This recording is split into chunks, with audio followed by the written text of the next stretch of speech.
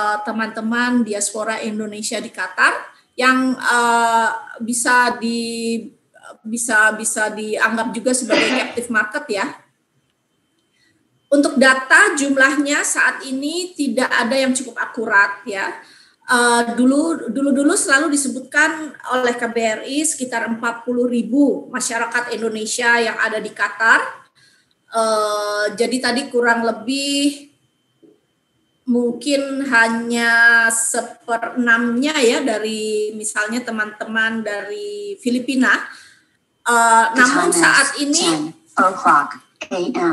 namun saat ini uh, data menunjukkan sekitar 27-28 ribu. Bisa jadi hal itu uh, uh, memang benar karena beberapa tahun yang lalu sudah ada uh, moratorium untuk uh, pekerja domestik ya, pengiriman pekerja domestik atau uh, asisten rumah tangga dari Indonesia di mana ke ke sembilan negara di Timur Tengah itu dihentikan termasuk dari Qatar. Kemudian juga mungkin setahun ya, setahun atau satu tahun lebih yang lalu ada krisis harga minyak dunia uh, di mana kemudian industri minyak menjadi terdampak sekali dan teman-teman Indonesia nih uh, yang bekerja di oil and gas juga terdampak akibatnya pekerjaannya cukup banyak yang kemudian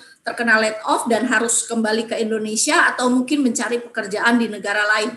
Jadi uh, kisaran jumlah 28 ribu tersebut masih terdiri dari 50% pekerja domestik uh, yang sejak dulu ya. Kemudian uh, sekitar 25% adalah uh, profesional di oil and gas dan perusahaan-perusahaan lain yang produknya merupakan derivasi dari industri oil and gas seperti tadi saya sebutkan fertilizer, pupuk ya, petrochemical, aluminium dan lain sebagainya. Namun banyak cukup banyak juga teman-teman yang bekerja di bidang hospitality, infrastructure dan construction, kemudian juga ada perbankan. Gitu. Uh, hospitality ini termasuk di hotel dan juga di uh, service industri seperti restoran dan lain sebagainya ya.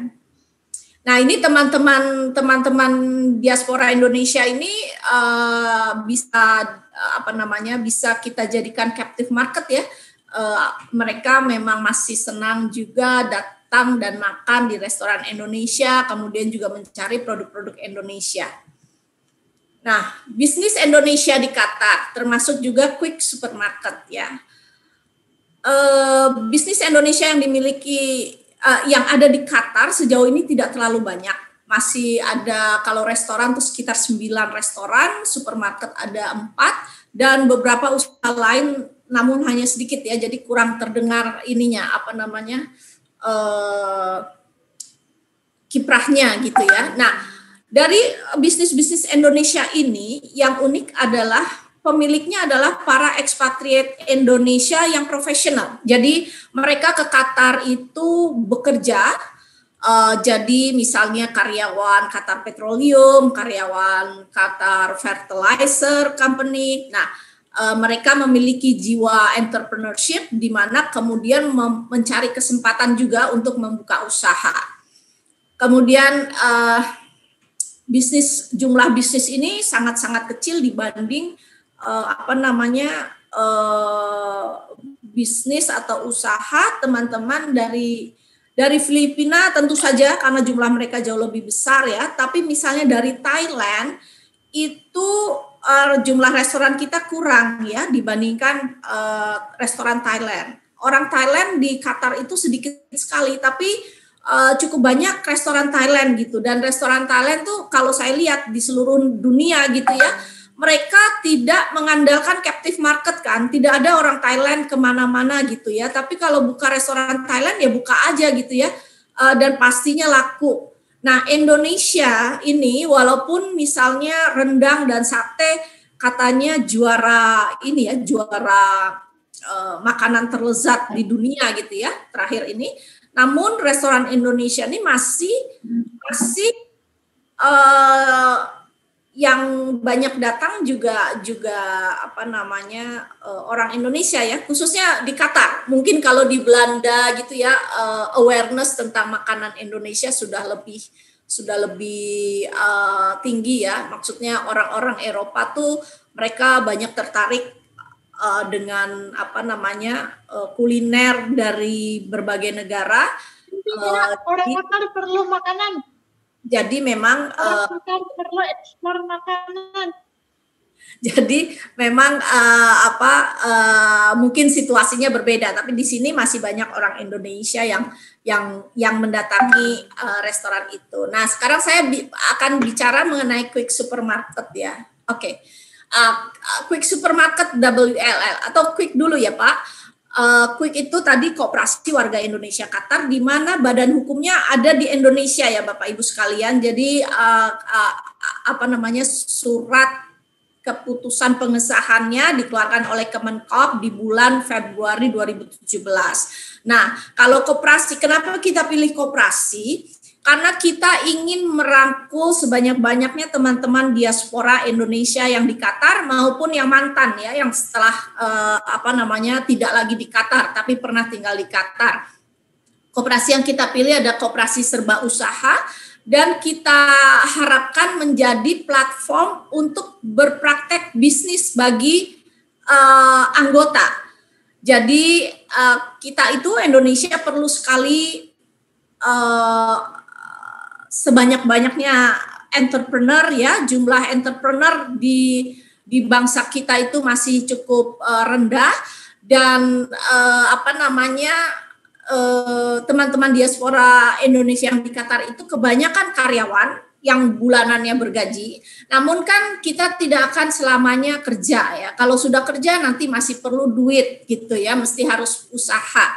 Nah, untuk punya usaha sendiri itu kan butuh mental yang tangguh, butuh uh, apa namanya, uh, butuh juga sense of business yang tinggi. Jadi hal itu tentunya uh, penting sekali untuk dilatih.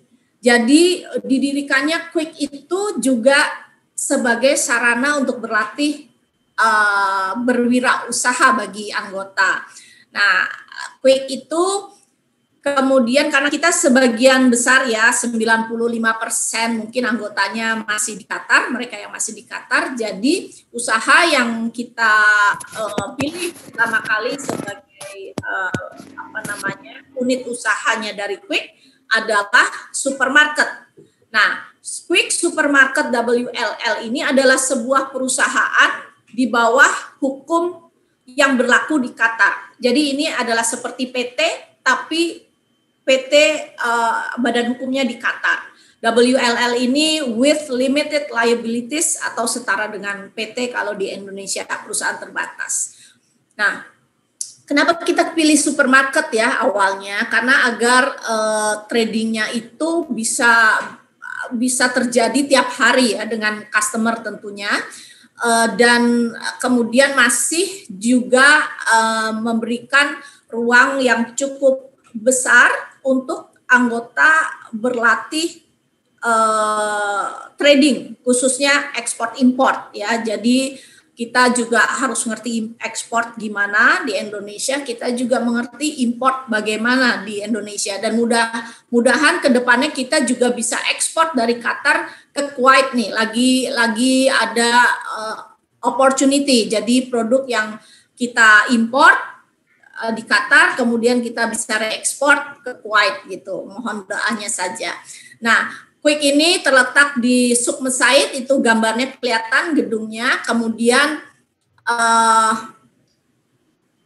apa namanya uh, didirikan saat ini anggotanya baru 100 lebih uh, apa namanya anggota, di mana kemudian uh, ke sininya kita itu uh, apa namanya ber, tradingnya itu ada seperti project-project manajernya ya, misalnya oh siapa yang menangani import misalnya sosro, kemudian siapa yang menangani import durian, siapa yang sekalian memodali juga ya, siapa yang menangani import nanti uh, Vesta ya frozen food, kemudian siapa nanti yang uh, buah-buahan dan sayuran, kemudian ada ikan gitu ya. Nah, Quick Supermarket ini uh, memiliki empat license untuk berdagang. Yang ter, uh, yang Bapak Ibu lihat, uh, yang Bapak Ibu bisa lihat uh, di slide, yaitu license kita pertama dan uh, itu makanan dan minuman itu yang menjadi fokus utamanya kita, kemudian juga buah-buahan dan sayuran. Nah, untuk buah-buahan yang sayuran ini saat ini regular tiap minggu ya, Bapak Ibu. Uh, ini tadinya captive market orang Indonesia ya, yang untuk buah-buahan dan sayuran. Namun uh, kita sudah mulai mendapat uh, melebar lagi customer kita menjadi uh, masyarakat dari ASEAN. Jadi ada kita mulai punya customer yang loyal dari Malaysia terutama, kemudian juga Singapura gitu. Kalau kosmetik dan perawatan kecantikan serta deterjen dan pembersih itu belum kami fokuskan. Kami juga import secara regular, tapi saat ini lagi ada kendala itu ikan-ikanan uh, yang ikan-ikanan terutama si gurami dan lele. Jadi masih ikan air tawar dalam bentuk frozen itu juga masih uh, captive market orang Indonesia atau restoran Indonesia uh, karena mereka jadi punya menu khusus gurame bakar gitu ya lele uh, pecel lele lele crispy dan lain sebagainya gitu. Itu kita saling mendukung dalam hal hal itu gitu. Uh, untuk ini mungkin saya uh, mungkin nanti aja ada di case tadi ya. Saya ada ada feedback gitu ya untuk produk-produk Indonesia dibandingkan dengan produk lain. Mungkin itu bisa jadi input bagus nanti. Mungkin nanti saja. Nah, peluang produk-produk UKM di Qatar ya. Eh, kalau saya saya perhatikan kalau kita sebut kan kalau produk yang non UKM pastinya mereka udah punya sendiri ya eh, bidang ekspor ya mereka sudah mungkin lebih uh, sudah ekspor gitu dalam hal ekspor. Nah ini jadi saya sampaikan uh, untuk produk-produk uh, eh, UKM di Qatar ya. Uh, kalau saya perhatikan jenisnya produk-produk UKM itu adalah uh, kategorinya maksudnya ya makanan dan minuman, kemudian buah-buahan dan sayuran, agriculture lah ya, kemudian termasuk juga mungkin fisheries, kemudian fashion sama aksesoris dan uh, seni kriya ya yang uh, seperti handicraft, art and craft. Itu. Saya mungkin satu persatu membahas dan mungkin pembahasan saya akan lebih banyak di makanan, minuman, buah-buahan dan sayur-sayuran, uh, mungkin juga termasuk ikan ya karena itu juga makanan karena di situ fokus quick supermarket yang saya menjadinya sehingga saya uh, mengetahui aturan-aturannya. Uh, ini saya dapat dari uh, websitenya Lulu Qatar ya, di mana dia uh, apa namanya bisa diakses produk apa sih yang ranking atas. Ini yang kami juga uh, apa uh, suka intip ya, apa sih produk-produk yang yang uh, yang laku gitu supaya kalau kita mencari resource dari Indonesia kita bisa apa namanya uh, bisa tahu uh, hypermarket sebesar Lulu tuh produk apa saja yang yang apa namanya uh, sisinya ya dari kualitas dan uh, kuantitasnya tuh juga paling di ranking atas gitu.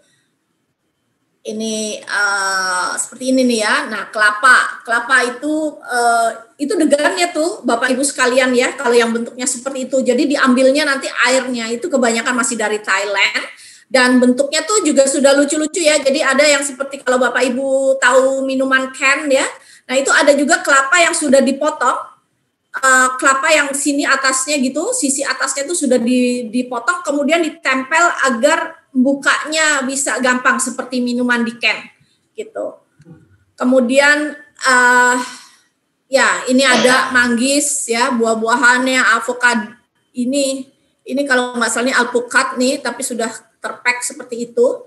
Ini tampilan uh, buah-buahan yang di, uh, di banyak uh, dijual di Lulu. Kemudian ini uh, chips ya, Indonesia pasti banyak kan uh, apa namanya uh, produk-produknya. Kemudian biskuit juga biasa ada wafer, uh, biskuit seperti bubong ini kan juga banyak. Uh, kemudian butter cookies.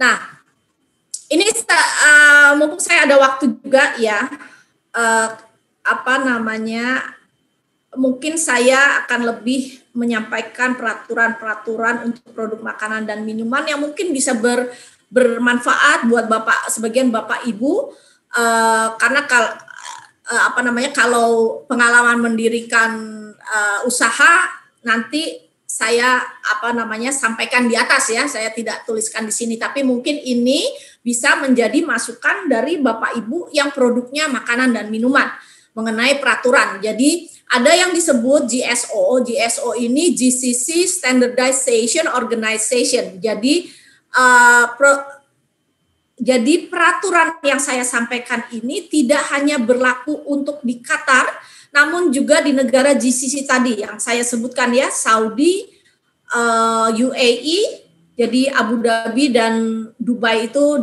di UAE, kemudian Oman, Bahrain, Kuwait, dan uh, dan Qatar ya, Qatar sendiri. Nah, mengenai label dari makanan ya, itu harus tertera nama produk, komposisi atau ingredient ya Bapak Ibu, nutritional fact itu harus ada, berat juga harus ada, nama pembuatnya harus ada, negara asal harus ada, tanggal itu harus ada dua Bapak Ibu sekalian, jadi harus ada tanggal produksi dan harus ada tanggal kedaluarsanya. Karena nanti di situ dilihat juga terkait berapa e, berdasarkan packagingnya berapa lama shelf life yang di, e, yang diminta untuk produk tersebut dengan packaging e, terkait ya misalnya saja misalnya saja kadang-kadang suka ada perbedaan sih dengan dengan produk uh, ekspor uh, di di regional lainnya gitu ya. Jadi apa namanya? Uh, jadi misalnya kalau jus dalam tetra pack Bapak Ibu sekalian, kadang-kadang itu uh, bisa satu tahun. Namun kalau untuk masuk di GCC itu mereka minta, maaf sebentar ya, mereka minta sembilan uh, bulan gitu. Jadi nah ini ini penting uh, uh, jadi produksi bagian produksi dari pabrik itu harus menyesuaikan gitu ya. Kemudian uh, diperlukan teks Arabik di packagingnya. Namun bila tidak tercetak itu tidak apa-apa, uh, masih bisa dibantu dengan menggunakan stiker. Nah, yang diperlukan teks Arabiknya adalah uh, aspek-aspek yang saya tulis dalam warna merah ya. Jadi ada ada tiga ada tiga aspek yang harus punya teks Arabik ya yaitu nama produk, kemudian uh, ingredient dan negara asal ya. Negara asal jadi produk of Indonesia itu harus ada teks Arabiknya, kemudian nama produk. Nama produk itu bukan uh, Indomie gitu ya kita ambil yang gampang aja contohnya Indomie bukan Indominya yang dalam uh, teks Arabik tapi instant noodle jadi nama produknya ya instant noodlesnya itu harus ada dalam bahasa uh, bahasa Arab itu untuk labelnya ya Bapak Ibu sekalian. Kemudian ada uh, apa namanya? Ada peraturan lain adalah masa sampai kedaluarsa Nah, ini juga ada apa namanya? Ada uh, tergantung ya. Jadi spesifik gitu disebutkan dalam apa waktunya waktu dari production ke expiry date-nya diatur gitu harus seperti itu. Kemudian adalah produk yang ada aturannya. Jadi sebelum uh, apa namanya sebelum datang harus diperiksa dulu uh, apa namanya uh, pe, apa sih bahasa Indonesia editif itu ya. Uh, apa saja yang boleh dan kalaupun boleh seberapa kadarnya. Dokumen-dokumen ini nanti uh, apa namanya bisa saya sampaikan ya ke organisasi uh, Bapak Ibu sekalian. Ya ya. uh, bisa ke goexport.com untuk jadi jadi referensi uh, buat komunitasnya.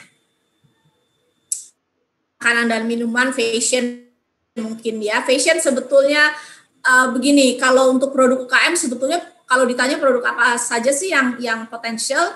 Nah, kalau mengingat tadi saya sampaikan uh, di Qatar itu ada penduduk dari 170 warga negara asing gitu ya di Qatar. Tentunya apa saja relatively potensial gitu. Uh, tinggal saja seberapa besar pasar yang sudah mengenal dan kalaupun uh, belum mengenal, nah strategi pemasarannya tuh perlu uh, di, dipikirkan ya karena tidak mudah memperkenalkan atau mengedukasi calon customer mengenai produk yang baru. Nah kalau untuk fashion karena ini di Arab kebanyakan wanita-wanita uh, lokal dan juga negara-negara Arab sekitarnya dan juga muslimah lainnya banyak menggunakan abaya. Nah abaya ini kalau di Indonesia uh, pakaian muslimah itu yang sifatnya seperti abaya kan berwarna-warni ya. Nah, itu di sana uh, tidak seperti itu gitu. Jadi mereka menggunakan yang hitam namun memungkinkan uh, kombinasi ya seperti dalam gambar ini nanti ada aksennya. Nah, aksen ini kalau kita ngomongin uh, Indonesia dari Indonesia mungkin bisa aksen dengan bordir, payet atau uh, batik dan tenun gitu ya. Nah, apa model model abaya di sana lebih bukaan di depan karena karena biasanya itu hanya mereka pakai saat mereka ada di luar. Tapi kalau misalnya mahasiswa akan kuliah, nanti pada saat sudah di tempat kuliah mereka akan buka dan uh, apa namanya berpakaian seperti biasa. Begitu juga dengan pesta ya, karena selalu terpisah antara pria dan wanita, jadi pakaian apa pun sebetulnya juga juga apa namanya uh, juga ada di sana. Jadi eh, brand-brand seperti Mango, uh, Mango, Mark and Spencer, H&M dan lain sebagainya, uh, Zara ada di Qatar. Nah kalau aksesoris mungkin Bapak Ibu sekalian, kalau uh, kalau aksesoris yang biasa itu sudah sangat di rajai oleh produk dari China. Yang mungkin kita akan susah lah ya ber, ber apa namanya bersaing uh, dengan China. Namun kalau ada sifatnya yang customize itu akan lebih baik ya. Mungkin secara biaya produksi cukup murah tapi kualitas dan uh, uh, kualitasnya bisa terlihat eksklusif gitu. Nah, untuk mutiara ini saya rasa sangat uh, potensial karena Qatar memiliki uh, sejarah sendiri dengan dengan Mutiara ya. Sebelumnya uh, orang-orang Qatar itu mereka seperti petani mutiara lah ya. Dulu-dulu waktu saya pertama kali datang ke Qatar itu di tahun uh, 2000-an itu masih banyak pengrajin-pengrajin mutiara gitu ya yang saya suka beli gitu. Uh, tapi sekarang nih udah mulai nggak ada. Nah ini mungkin juga kalau dibuat uh, aksesoris dari mutiara yang sekarang kan kalau di Indonesia uh, bagus-bagus ya kreasinya ya. Uh, apa namanya itu akan potensial sekali dan tidak hanya ini sih tidak hanya aksesoris tapi tasbih. Tasbih juga uh, relatif potensial uh, tidak hanya dari mutiara bisa juga dari batu-batuan.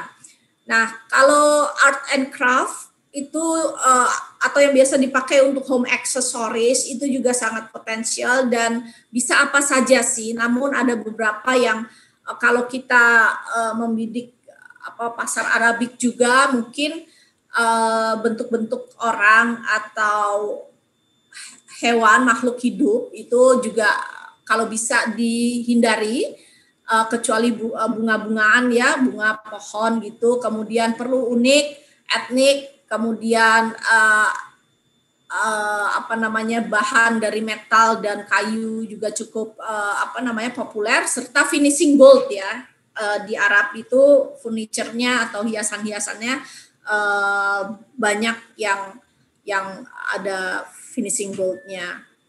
Nah, ini kalau untuk produk, mengenai produk, uh, saran-saran saya bagi UKM, paling tidak uh, di kemasan itu sudah menggunakan bahasa Inggris. Kalau memilih merek, ya, kadang kan suka heboh gitu ya, tapi kalau ada rencana untuk go ekspor, itu sebaiknya dipilih yang simple, mudah diingat, dan relevan dengan produknya itu sendiri ya.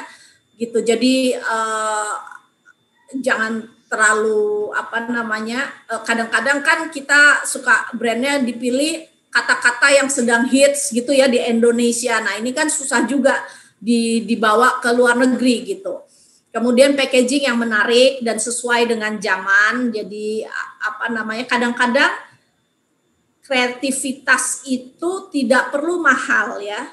Tidak perlu mahal tapi akan tampak terlihat elegan dan eksklusif Nah, uh, karena produk UKM saya saya rasa belum terlalu massal ya. Keuntungannya keuntungannya adalah tidak terlalu massal sehingga bisa agak bisa di customize itu adalah uh, menggunakan storytelling di mana Bapak Ibu sekalian misalnya menceritakan uh, tentang produk itu gitu ya. Entah pembuatannya entah penggunaannya di masa lalu atau di daerah tertentu di Indonesia gitu ya. Misalnya ada ada di sebuah kartu kecil gitu ya terselip di situ atau mungkin di boxnya di packagingnya ada cerita tentang tentang produk itu gitu. Nah kemudian juga mulai eh, kesadaran membuat produk-produk yang lebih sehat dan juga eh, apa namanya eh, kesadaran untuk ramah lingkungan ya. Misalnya kalau produk cemilan tuh uh, mulai trennya tidak digoreng tapi uh, di bake gitu ya bake uh, biasanya orang suka ditulis di packagingnya uh, not fried but bake gitu ya. Seperti itu kemudian juga organik. Tapi organik di sini tentunya kalau bapak ibu sekalian uh, mengklaim organik nanti harus meng, ini ya harus melampirkan sertifikat organiknya. Kemudian uh, mulai juga dengan produk-produk yang less atau no sugar added gitu. Nah ini saran-saran saya bagi pemerintah mungkin atau perusahaan swasta yang sudah besar gitu ya, yang atau asosiasi uh, atau komunitas yang yang memiliki UKM UKM binaan gitu ya. Mungkin selain produk gitu ya, fokus kepada uh, product development tapi juga bisa memberikan bantuan dan jasa fasilitas desain. Itu untuk company profile, untuk produk packaging, bisa juga untuk alat-alat promosi lainnya, eh, misalnya katalog dan e-flyer gitu, untuk memudahkan pemasaran. Nah, kemudian juga eh, apa bisa memberikan bantuan fasilitas jasa translasi eh, bahasa ya, mungkin perlu untuk bahasa Inggris atau bahasa Jepang atau bahasa Arab gitu ya. Uh, lalu juga uh, uh, ini yang saya sedang lakukan ya uh, uh, kalau kolaborasi dengan Quick Supermarket WLL kita terbuka tapi kami ini kan juga bisa dibilang skalanya UKM juga. Kami tidak bisa begitu saja membeli putus produk-produk semua orang uh, karena memasarkan produk baru di luar negeri itu juga uh, perlu effort. Nah, yang penting juga Bapak Ibu sekalian, eh, kalau Bapak Ibu sudah memikirkan untuk uh, ekspor atau go international produk-produknya, tolong diingat bahwa Bapak Ibu sekalian melalui produk-produknya itu membawa nama Indonesia. Jadi dipikirkan kualitasnya.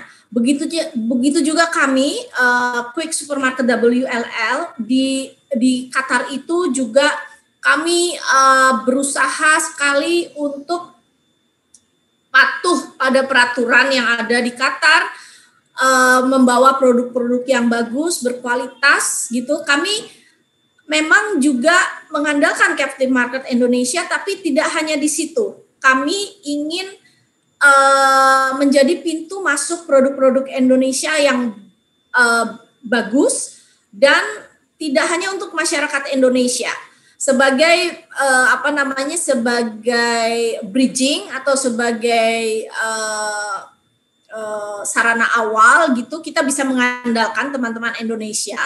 Namun uh, kan kita inginnya bersaingnya di pasar internasional ya. Jadi uh, saya berharap produk-produk Indonesia itu ya memang bisa tarung melawan produk-produk dari mana pun gitu. Jadi uh, Bapak Ibu sekalian tolong diingat bahwa melalui produk-produk Bapak, Bapak Ibu uh, Bapak Ibu uh, kita semua itu menjadi uh, gambaran Indonesia. Jadi tolong diperhatikan uh, apa namanya dengan baik masalah kualitas gitu ya. Itu yang uh, apa namanya uh, yang perlu saya sampaikan. Nah, uh, untuk tadi masalah pendirian ya kalau kalau uh, pendirian uh, usaha tadi di luar negeri itu mungkin terjadi lebih mudah karena kita semua memang sudah ada di Qatar ya jadi oh sekalian kita di Qatar kenapa sih kita tidak uh, apa namanya membuat sesuatu yang bisa bermanfaat bagi masyarakat atau bagi orang lain. Kalau kerja kan relatif buat kita sendiri ya, buat keluarga kita sendiri gitu. Tapi kalau seperti ini, seperti juga Bapak Ibu sekalian bergabung dalam suatu komunitas, kami di sana pun juga sekalian deh uh, apa namanya kita bisa uh, memberi manfaat gitu ya buat para para pengusaha Indonesia, buat produk Indonesia, intinya buat uh, tanah air. Nah, di sana mendirikan usaha itu tidak uh, dari sisi birokrasi sih tidak sulit ya Bapak Ibu sekalian kita hanya perlu sponsor perlu berpartner sponsor itu partner lokal di mana mereka memiliki saham lebih besar dari kita. Kemudian uh, tapi biasanya uh, mereka itu tidak store beneran. Jadi semua pendanaan itu dari kita. Nah kendalanya di sini adalah uh, lebih kepada biaya ya operational expenses. Itu yang cukup berat uh, bagi bagi kami gitu. Untuk berjalan dengan uh, enak gitu ya apa namanya jumlah orangnya staffnya cukup gitu itu mungkin biaya operasional kita tuh sekitar 100 juta sebulan ya 100 120 juta sebulan. Nah, bayangkan uh, untuk bisa menutupi OPEX kita harus berdagang sebanyak apa gitu ya. Uh, itu yang yang apa namanya yang sejauh ini Quick itu uh, sampai beberapa waktu uh, terakhir itu masih struggle. Tapi alhamdulillah sekarang itu karena sudah ada produk yang yang kebetulan uh, tiba-tiba jadi hits ya. Uh, yang yang sebetulnya kita tidak menyangka juga bahwa hasilnya akan seperti itu gitu. Kita jadi mendapat banyak uh, customer base dari Eh, negara-negara eh, dari warga negara ASEAN lainnya gitu. Itu yang yang bikin kita kita apa namanya saat ini sudah sudah sangat membaik dibanding yang dulu-dulu. Nah, ini kalau saya masih punya waktu nggak, Pak Andri? Ada tiga menit lagi, Ibu. Boleh tiga menit. Oke, okay, ya. ini hanya kasus ya, Bapak Ibu sekalian. Uh, saya bukannya mau membanggakan produk lain eh, negara lain, tapi ini pembelajaran lah buat buat uh, kita semua. Uh, misalnya nih kami suka mengimpor buah-buahan. Uh, durian itu uh, banyak sekali yang suka ya, Malaysia, Singapura, Thailand, kemudian juga Indonesia. Kita berusaha mengimpor uh, durian dari Indonesia itu nggak bisa, udah berapa tahun nggak bisa. Jadi uh, semua airline itu menurut forwarder semua airline itu menolak uh, membawa durian uh, Indonesia gitu ya. Uh, padahal ada beberapa teman yang kebetulan punya fasilitas gitu ya bisa bawa uh, bawa barang uh, bawa barang bawaan banyak itu karena dia uh, apa namanya customer yang loyal dari sebuah airline itu mereka bisa-bisa aja membawa sampai 500 kilo durian dari Indonesia begitu saja. Jadi maksudnya masuk cek luggage ya. Jadi itu tidak diimpor resmi. Masuk Qatar pun juga tidak dimasalahkan. Jadi kami sempat waktu itu uh, tidak ti, tidak resmi ya, jadi kayak komunitas aja itu ya uh, dijualnya. Kami coba uh, untuk import resmi itu nggak berhasil.